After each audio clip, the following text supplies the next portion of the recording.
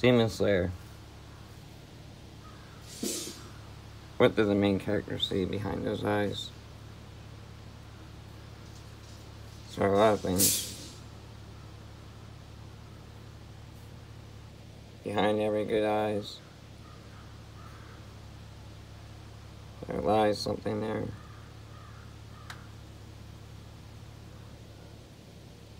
But you ask me, what do I see?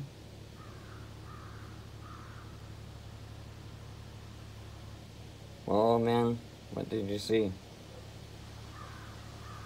Godzilla. You saw Godzilla?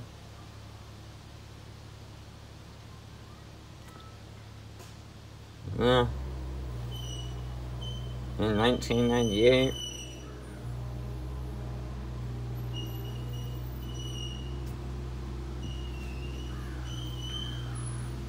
Okay. Alright, well. What?